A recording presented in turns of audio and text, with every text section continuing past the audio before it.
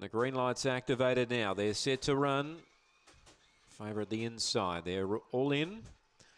Set, racing, spearing out there was Steve's Regret. St. Candy's got speed the outside of it, and third, McCartney Girl getting off the rail. Then came uh, Chicks Love Me. Aston Hayato, well back, Tommy Lee Rose, and Aston Hackett is last. Steve's Regret led by a length here. Now St. Candy's trying to stick with it. Two back then to McCartney Girl. Steve's Regret doing it well, though, inside the 50. It's holding on and does enough just from St. Candy, who stuck to its task. McCartney Girl grabbed third from Chicks Love Me, a gap then to Aston Hayato. Tommy Lee Rose and Aston Hackett the last pair, 22.90 the time. Number three, Steve's Regret does enough. So Cheryl Herman, first up from a little break, defeats four St. Candy, who stuck on well.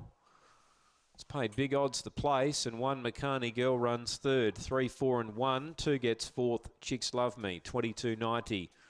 The gallop, it's a half a length. The first margin there, 872 the early sectional, 3412. Run home in 1418. That's after race eight. Jumps straight to the lead and runs uh, a good time there first up from a little break. 3412 after race eight, Gawler.